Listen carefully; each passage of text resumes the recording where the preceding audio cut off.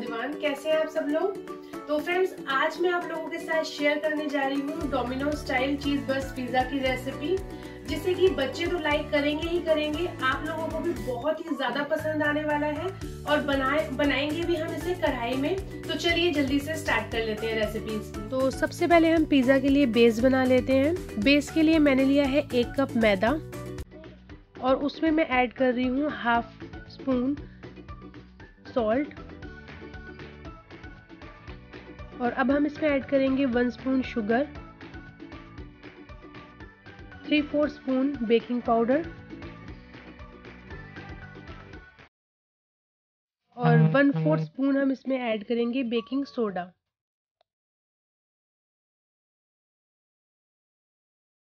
और ये मैंने लिया है हाफ़ कप कर्ड कर्ड से ही हम इसका आटा लगाएँगे इसके डो को रेडी करेंगे। तो डो जो है हमारा फ्रेंड स्टिकी होना चाहिए, इस तरीके का डो होना चाहिए हमारा और इसे हम 10 से 15 मिनट के लिए अच्छे से गूंदेंगे।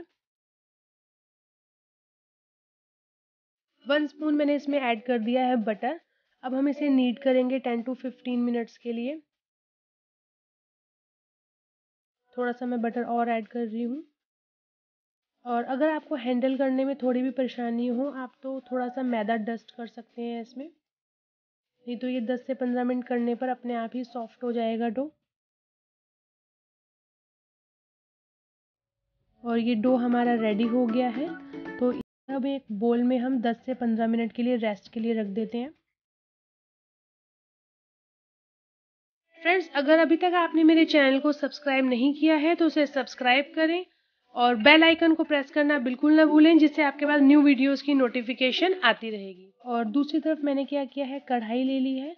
कढ़ाई में मैंने सॉल्ट डाल दिया है इस तरीके से और उस पर कोई भी आप स्टैंड या कटोरी को इस तरीके से उल्टा करके रख दीजिए और पाँच मिनट के लिए हम हाई फ्लेम पे कढ़ाई को गर्म करने के लिए छोड़ देंगे। और जो ये डो अब मैंने रेडी किया था, उसे मैं पार्ट्स में डिवाइड कर लेती हूँ। एक पार्ट मैंने छोटा रखा है और एक पार्ट बड़ा रखा है। तो जो डो मैंने छोटा लिया था, उसकी हम एक रोटी बना के रेडी कर लेंगे। पतला बेल लेंगे इसे हम। चीज़ बस पिज़्ज़ा जो हम बना रहे हैं, उसके लिए हमें ये बनाना ज़रूरी है। तो इसे हम बेल लेते हैं रोटी की शेप में। ये बिल्कुल पतला बेल के मैंने रेडी कर लिया है। और अब हम इसे तवे पे लो फ्लेम पर सेक लेंगे। जब थोड़े से बबल्स आने लगे तो हम इसे टर्न कर देंगे।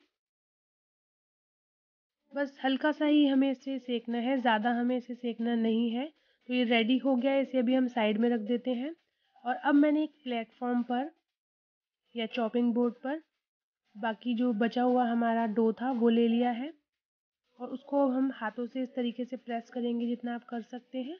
उसके बाद हम बेलन से इसे बेलेंगे।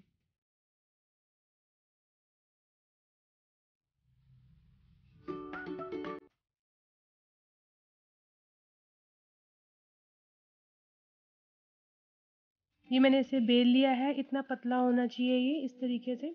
ये परफेक्ट बन के रेडी हो गया है। और जो भी आप प्लेट ले रहे हैं, या फिर बेकिंग ट्रे ले रहे हैं, या प्लेट जो भी आपने लेना है, वो आप ले सकते हैं। और उसके साइज़ के अकॉर्डिंग आप चेक कर लीजिए। और ये बटर मैंने पूरी ट्रे पे अप्लाई कर दिया है। और अब मैं अपनी जो ये मैंने रोटी एक बना के रेडी की थी, उसको मैं ऐसे फोल्ड करके इस पर रखूँगी धीरे से।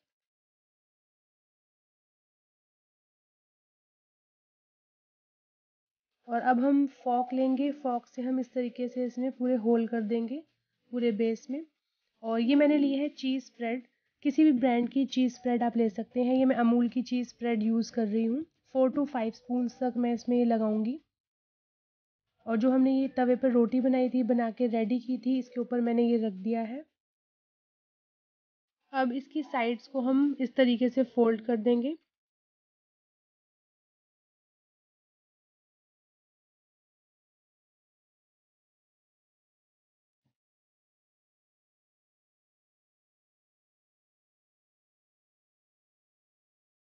और सबसे पहले मैं अप्लाई करूँगी पिज़्ज़ा सॉस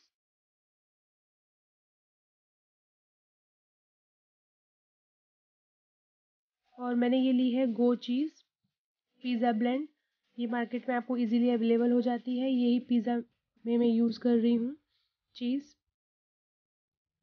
वो अपने अकॉर्डिंग आप ज़्यादा कम डाल सकते हैं. मैंने थोड़ी ज़्यादा ही डाली है. और इसकी टॉपिंग के लिए मैं यूज़ कर रही हूँ कैप्सिकम अनियंस कॉर्न यूज़ कर रही हूँ मैं। और ये ऑलिव्स लिए हैं मैंने, वो यूज़ कर रहे हैं। तो ये टॉपिंग आप अपने अकॉर्डिंग कुछ भी ऐड कर सकते हैं, पनीर ऐड कर सकते हैं, जो भी आपको पसंद हो।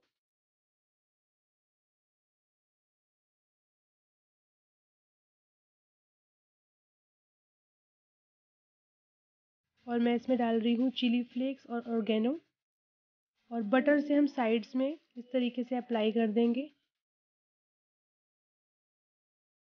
कढ़ाई हमारी प्री हीट हो गई है। इसमें हम इसे बेस को रख देंगे और इसको ढक देते हैं 20 से 25 मिनट के लिए। लो फ्लेम पे नहीं रखना है इसे, हमें मीडियम फ्लेम पे रखना है। तो 25 मिनट बाद ये मेरा पिज़्ज़ा बेस, देखिए कितने अच्छे से इसमें कलर आया है, परफेक्टली रेडी हुआ है ये। और इसको अब हम कर लेते हैं सर्व। तो देखिए, आपको देखने से ही पता चल रहा है कितना ये परफेक्ट पिज़्ज़ा बन के रेडी हुआ है हमारा। घर पर ही आप बेस बना के इसे घर पर ही बना सकते हैं पिज़्ज़ा को बच्चों के लिए। बच्चों को डेफिनेटली ये पसंद आएगा। फ्रेंड्स अगर आपको मेरी ये रेसिपी पसंद आई हो तो प्लीज़ इसे लाइक शेयर करना बिल्कुल ना भूलें। और मेरे चैनल को सब्सक्राइब करना भी। Thank you so much bye bye friends